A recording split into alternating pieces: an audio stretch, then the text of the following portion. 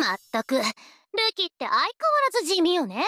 そういう貴様こそ相変わらず普通じゃないな。うっせえちびるき何よやる気？この私に喧嘩を売るとは。狂乱の魔女の力を見せてやろう。ああそれにはいろいろ理由があるっつうか。そもそも私はこの女と因縁があるのだ。せっかくだから校外活動に行くついでに話してやろう。この私とアンジェリカが組むことになったきっかけ。まずは特別クラスが結成されたあたりから。今日から私も特別クラスの一員か。だがどこに行こうと変わらないさ。私は狂乱の魔女。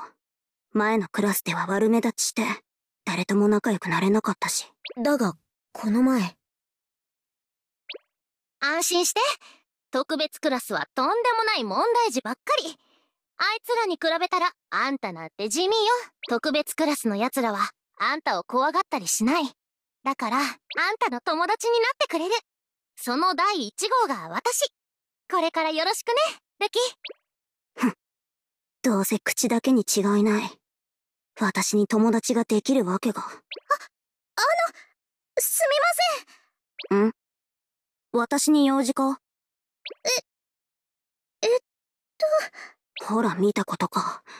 こんなに怯えているではないか。何が特別クラスは問題児ばかりだ。結局は前のクラスと同じで。あのサインください。は？あごめんなさい。私リネットって言うんですが私本と魔女が大好きでルキフェルさんの歌声のファンなんです。もしよかったらこの色紙にサインを。サインだと？なんだ？こいつは私が怖くないのか？私はあんなに大きな事件を起こしたのに。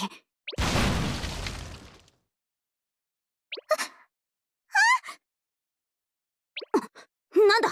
まさか魔獣。わふーいや違う。あれは